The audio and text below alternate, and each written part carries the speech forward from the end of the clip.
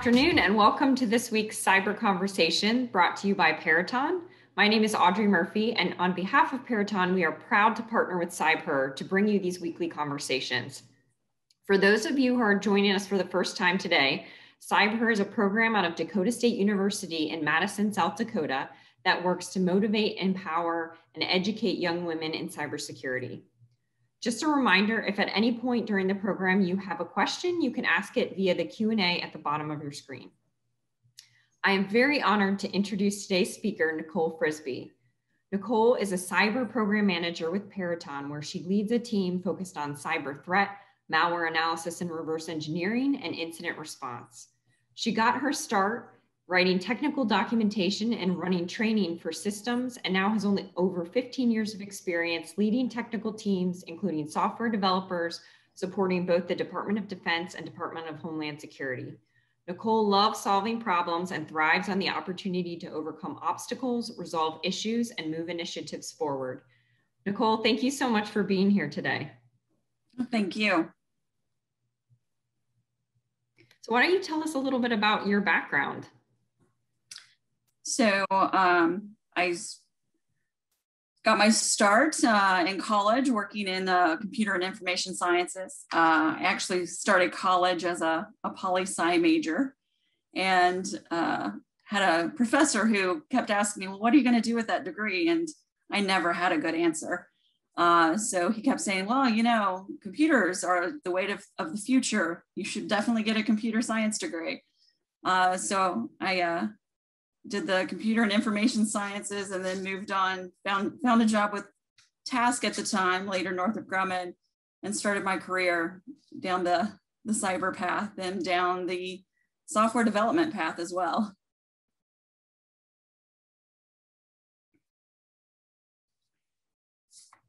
Um, with that said, uh, so started working with the DoD environment uh, I know I went in there, I wrote user manuals. So a lot of systems, writing user manuals for, for different systems. Um, and I was lucky enough that after two months of writing these user, man, user manuals, uh, they actually allowed me to go out and train these systems to all the different users uh, on the military installations, uh, which I loved because, um, hey, I've, i know all this stuff about this system now. I want to actually use that knowledge. Uh, from there, uh, they allowed me to then to take over a system and uh, provide all the information of what was needed from him, how to support those users. Um, and that was really my first introduction to cyber because you were dealing with um, incident response systems. So all these incidents were coming in uh, from the, the different systems across the military installations, all into these systems. And I was getting introduced to that information because I needed to know how then operators would use it uh, within the system and escalate those things to the other operators. From going to supporting the DoD in that area, I then supported the Army. Uh, again, uh, supporting software development, a lot of SharePoint. So SharePoint became well known and um, one of the first versions of it, we were trying to, to optimize it for incident handling again. Um, and then we used it for all kinds of different things, but that was really my first introduction to, to management. Um, I hadn't been a manager before, um, and they were like, hey, the manager's fleeting up to, to be department manager. Would you like to be the project manager? Well, yeah, you're going to say yes to that. So uh, that was that was my first introduction to management, and I really enjoyed it. I now realize that if I'm not getting the butterflies in my stomach going into a job, then it's not challenging me. So uh, I make sure that any new job I take on, I'm, I'm feeling that anxiousness or nervousness about the opportunity because that means that I'm going into something where I'm going to learn new stuff. And that is one of the things that working with new employees, new college interns, or people new from college coming into the workplace uh, that I've also discovered.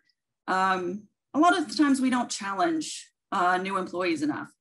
Uh, I think one of the key examples I noticed about this was when we uh, had an intern working for us and he was doing a great job. fabulous job. But he came into the office one day and he was flying a helicopter around the cubes. And you're thinking, really, you can do that? Well, the answer is no, you can't do that. but instead of saying, you know, he got a little bit of a slap on the wrist of, hey, can't do that. Just take the helicopter home. But it also told us that, hey, he was bored. Um, we weren't challenging him enough.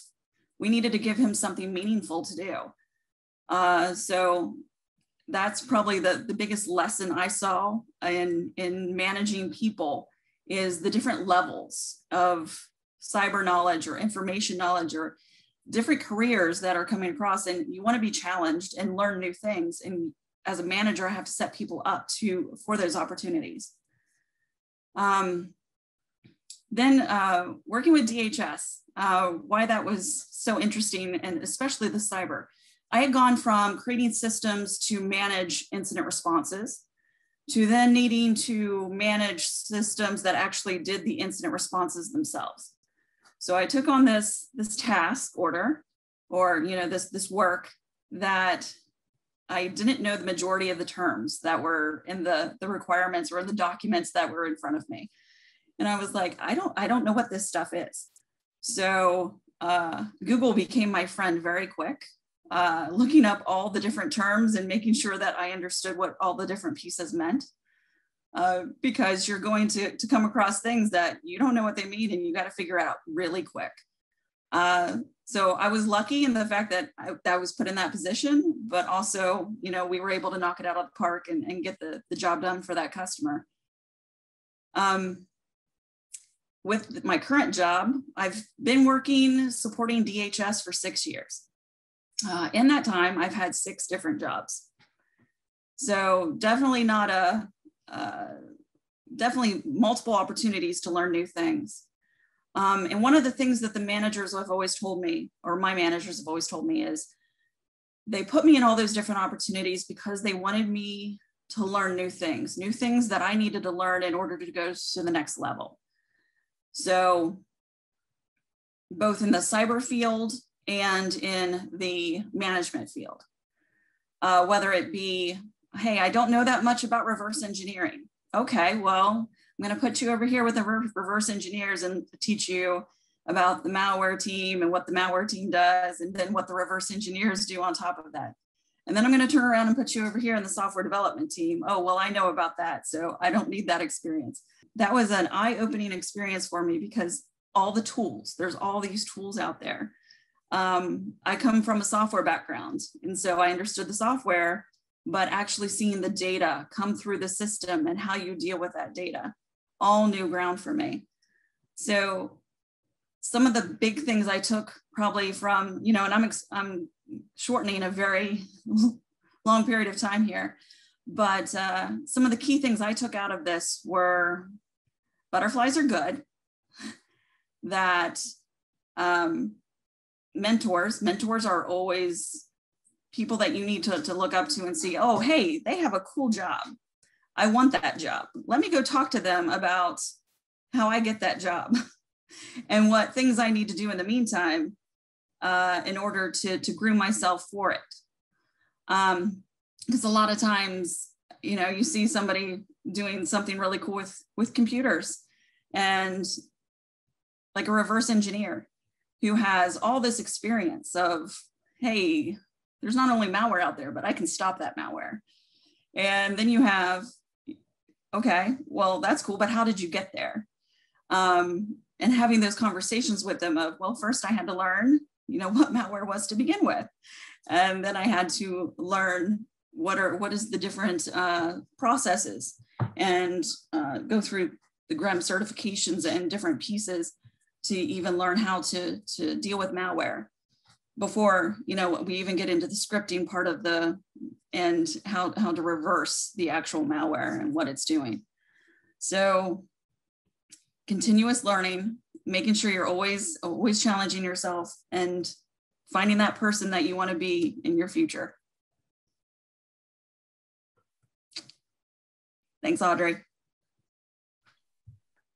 Thank you nicole so you've talked about incident response, right? So is it always like when you have an incident, is it like on your toes kind of thing, or how do you how do you normally go about when you have like a huge incident? Say, for example, there's been a big ransomware attack, and so what?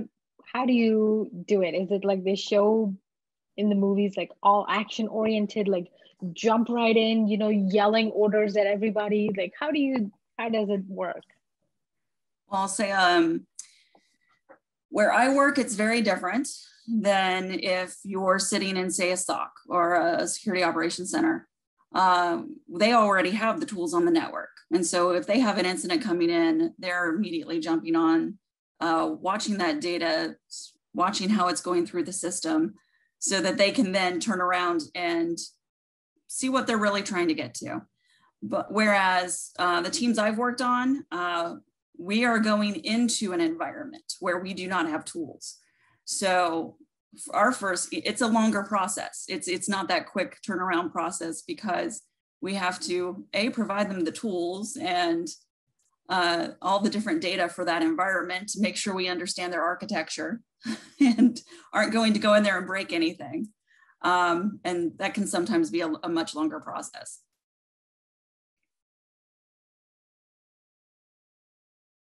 I think you're on mute. Sorry. I always try to mute when I'm not talking so that anything doesn't get distracted. Sorry. Um, what has been your favorite thing to work on? Like your absolute favorite? It was that first uh, work that I did with DHS. So we were doing incident response kits. So I got to learn about a lot of different tools that exist in the environment because I had to look at all the different tools that exist to see, okay, what was the best fit for what they were trying to do. And then I had never worked in on um, like rack in racks with all this gear and you have to plug in. So these were huge, huge boxes of equipment that were already plugged in together that we had to put together and then um, deal with moving them back and forth. And you're talking 150 pounds worth of equipment that you're trying to then move to a different site and um, to hook up to somebody's network to provide all the incident response. That was definitely the fun one. Uh, just, just all the systems engineering that went into that and, and looking at all the different tools. So then would you say that's also the coolest thing that you've ever done? For sure. For sure. I mean, when you're blowing um, the electric out in the building because you have too much power coming out of the equipment, uh, it, it lends itself to a good time. I love that. Um, so we have a question from one of our audience. Is it really hard to switch from working on one topic to another? What did you use besides Google when you didn't know something? I mainly stuck with Google, but I know, for instance, um, one of the things I ask software developers when I'm interviewing software developers is how you learn new new code um, stack, um, because a lot of times you get into a job and you are going to be working in one framework, and then the framework changes, and so you have to change with it. so Google becomes a big part of it, but there are forums that exist for whatever um, you're working in. So I forget which the what the ones were for software, but there were specific forums that people would bring up that they were working in. So um, a lot of times I was in a C sharp environment. So a lot of times they were talking about the different uh, Microsoft um, sites that were available where they could teach themselves C sharp. Um, and it's similar for, you know, you're moving, especially incident response, you're moving from, um, you have a whole host of tools that can be used within this environment. So you go in and you have the basic understanding of, I'm an analyst, I'm going to receive data, this is what I'm going to do with the data. But you have to teach yourself how to use the new tool that you've never dealt with. So I know a lot of people use uh, I know, um, YouTube videos. YouTube videos become everybody's friend. So, yes, we even use them for work. So, uh, we love YouTube videos and they teach us a lot, especially about all these tools uh, that we have to use in the environments. Very nice. So, then you have to write like a lot of reports for your work, or do you get to do more techie stuff? I am less techie now, especially as a department manager. I'm more managing the people that get to do all the fun techie stuff. Um, six years ago, I was writing a lot of reports, um, and there was a lot of documentation involved in what I was doing.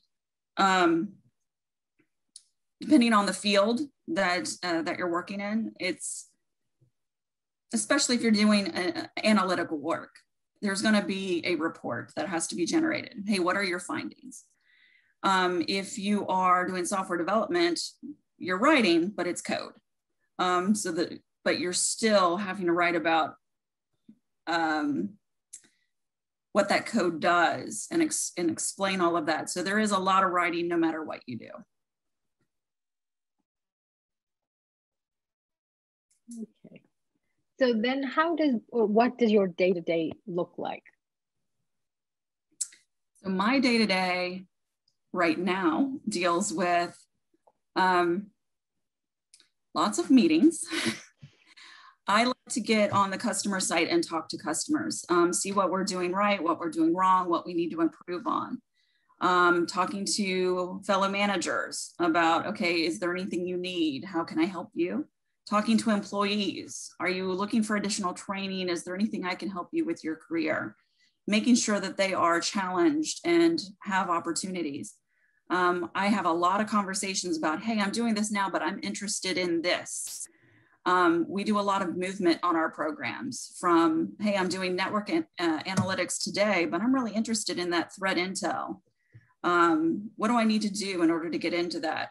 And having conversations about, well, you, you need to go look at the different APT uh, activity, do some research on that, and then let's talk again so that we can keep uh, challenging all of our employees and moving them to, to where they want to go in their careers. That's Very my cool. today. I like that. Helping people move from one area to another um, based on their interests. I like that very much and mm-hmm. it helps a lot when you're the employees they like what they're doing. Yes. Absolutely.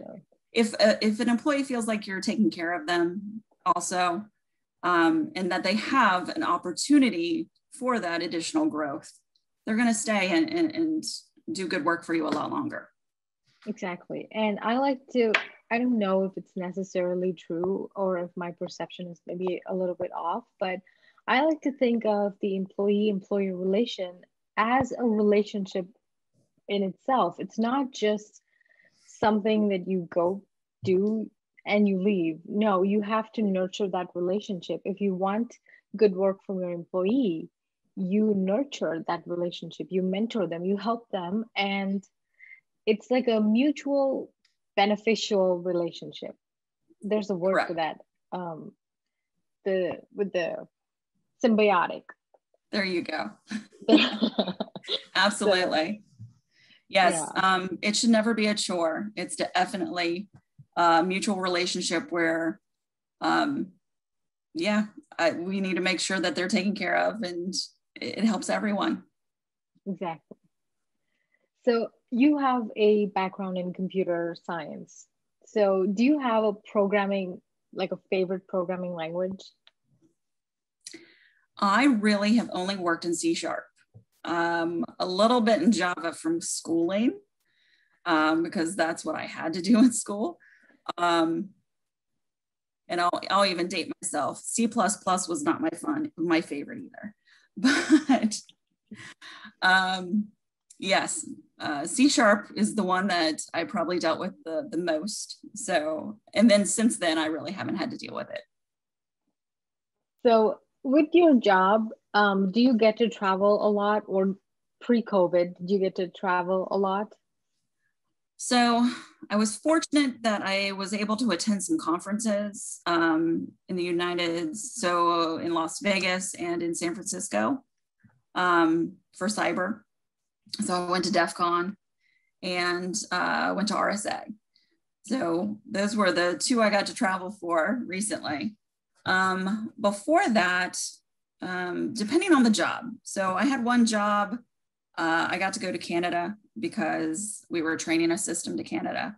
So that was kind of cool. Um, I have fellow coworkers who have traveled to Japan and Brazil and the UK for work they were doing. Um, but by and large, I, I do not travel much, not for not for work specific stuff because a lot of the times we're supporting the federal government, and you know it's it's local work. Okay. Um, I was at RSA last year. Loved the conference. So yes. huge. So many people. Oh my goodness. All the swag. oh my god, we came home with a lot of swag. yes. Um. So, are you part of any groups or communities that are targeted toward women in STEM or women in cyber? I am not. Um, that is actually one of the areas that I've always identified as an improvement point for myself um, because a lot of companies, for instance, offer employee resource groups or just resource groups in general. Um, and then there's the ones that um, are outside of companies that you can join. So I've always identified them and said, oh, I'm going to go attend that. But time always just gets away from me. Um, and, but it's definitely something I want to get more involved in. Okay, very cool. Um, there's this uh, conference that we've been fortunate to be a part of called WiCyS. It's Women in Cybersecurity. Oh, perfect. Um, I think it's the largest conference. It's tar- like directed toward just women in cyber. I mean, not to say that only women are allowed. Mm-hmm. Everybody is allowed, but um, it's targeted more toward women in cyber. And also, they have like a large percentage of students that attend the conference. So they get to meet these professional women that are working in the industry. They get to learn from them and they get to meet and network and it's a it's a fantastic conference. Yeah. They're they're all great. Uh, absolutely. Definitely the people should join them. Yeah. yeah. I should join them. so yeah, that's one thing that we uh, have been fortunate to go to. I think the last at least three years now. Um, so yeah, fun stuff a lot of swag again. So, um, so we have another question from our audience. Do you think you'll do more tech stuff in the future or keep having more meetings? I'm going to keep having more meetings. Um, so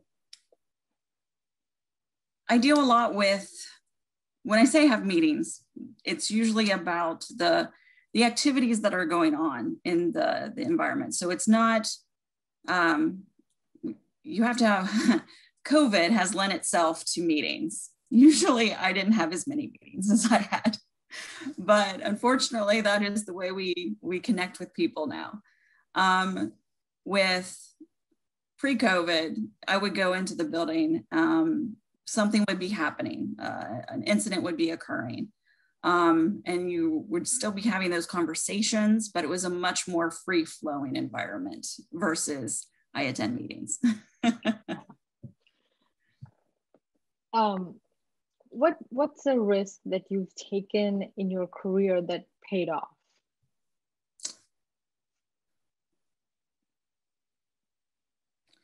So again, uh, when I moved I was very, I, I had been supporting software development, software development teams and software development uh, projects for 12 years.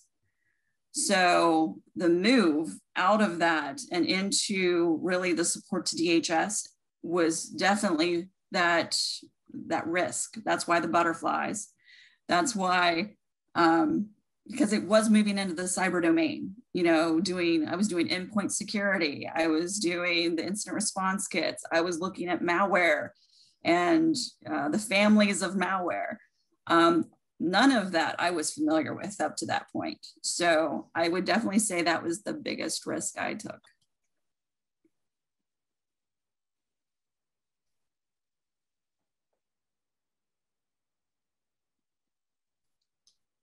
Sorry, I my internet froze. Like I'm I wasn't even sure I was on. Sorry about that. no problem.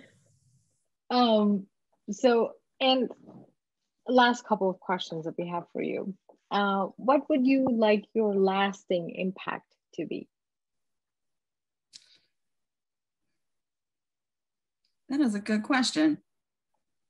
I I want to be recognized by the people who work for me as being somebody that helped them. Like when they're thinking back on their careers, I was somebody that helped them along, that get, had a good impact on them. Because I know looking back at my own career, I have those people that I think about. And hey, even if it was somebody who, like in a, a, a presentation like this or a conversation like this, you know, said something lasting of, oh, this is what I did and had some type type of impact on me, that's that's what I want. I want somebody to think back and be like, hey, that was a turning point in my career, or she really helped me uh, move forward. I like that. Um, our last question to you is what advice would you give to all the young people that are watching the session right now? I would say just because you're doing something now doesn't necessarily mean that's going to continue to be what you do for your entire career. That um, careers change. Uh, you do a lot of different things. You get exposed to different things um, and also take on different challenges that might be uh, something you like more than what you're doing today. So make sure that you're embracing those and taking risks and continuing to learn. I think learning is the, the biggest key because um, it will help you further down the road. Thank you.